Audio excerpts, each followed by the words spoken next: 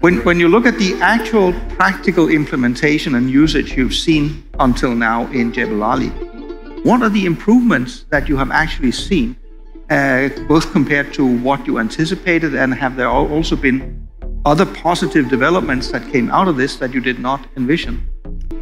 When you start something doing completely different, you go a journey, and on that journey you find out more and more.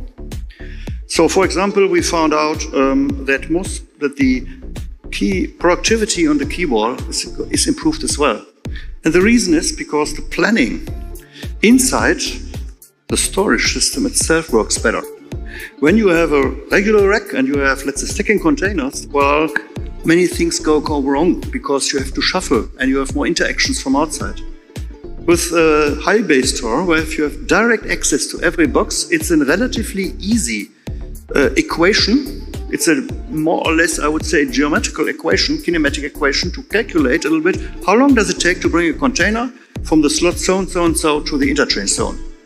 If you are much more correct with this prognosis, the TOS system planning your, your ground transportation, I don't know, whatever you run, is better in performing with the job to bring the container exactly in time, in the right sequence, in the in, in between the different very short slot, earliest and latest arrival time to the quay wall, where we normally lose the time and lost time is gone. This is, for example, one big improvement. Of course, the, the low-brainer is installing a high bay store means um, direct access. Direct access means no more unpaid moves, much less uh, let's say, uh, what you have to pay for wear and tear and, and, and let's say, running the machine costs you energy.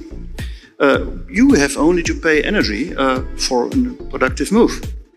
And um, the um, interesting thing during we run the system was also then we one day came to the idea, well, it could be good to equip the whole building with a solar roof.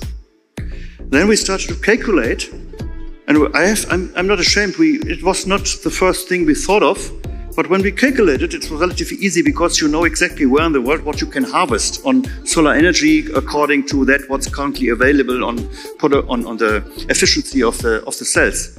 Well, we came suddenly to the result that we have an enormous amount of overcapacity when you install BoxBay. In other words, here in Dubai, I think it's 300% overcapacity, what you get out of the solar roof when you already have run the system.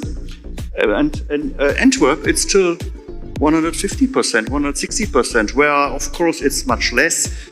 The sun is slower and it's raining more and so on. Then, when finding out this, well, the potential customer said, well, that is interesting for us. They were not so much interested in, in other, they came and said, well, we want to improve our CO2 footprint.